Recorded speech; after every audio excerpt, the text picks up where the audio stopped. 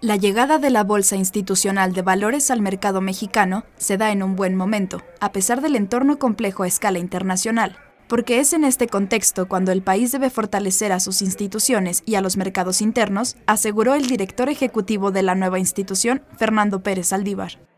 Y Viva viene a hacer precisamente eso, viene a ayudar a fortalecer y a hacer crecer y a desarrollar el mercado de valores va en línea con el fortalecer a las instituciones y al mercado interno eh, para darle más opciones de financiamiento eh, local a las empresas este, mexicanas.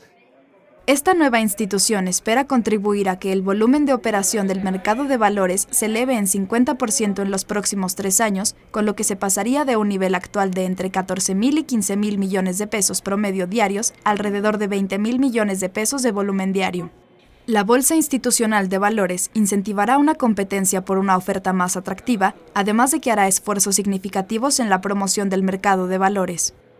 Haremos también una promoción exhaustiva con estas para traerlas al mercado público, como, como lo comentamos. Entonces, yo diría que en primera instancia el objetivo, más que segmentar eh, por parte de Viva, sí a lo mejor es ser más incluyente, eh, en el sentido de poder bajar la raya y tratar de atraer a empresas de, también de un menor tamaño a las actualmente listadas.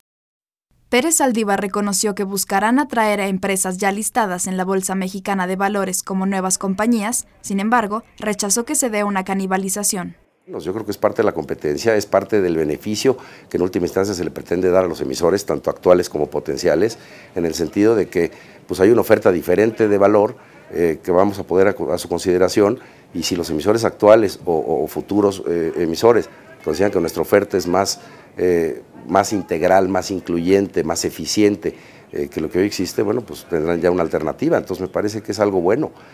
yo creo que el primer beneficiado de, la llegada de, Viva al mercado son los emisores, porque ahora ya tendrán una alternativa para escoger, cosa que hasta, hasta hoy en día no, no, no la tienen.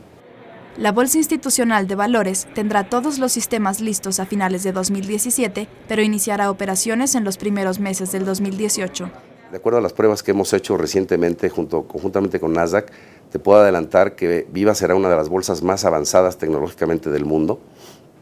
Manejamos protocolos con estándares internacionales, protocolos de comunicación, eh, tipos de órdenes comúnmente utilizados alrededor del mundo, eh, altísima velocidad de ejecución, eh, y todo esto pues, va en beneficio del sector, del sector institucional. El nombre de Bolsa Institucional de Valores no es casual.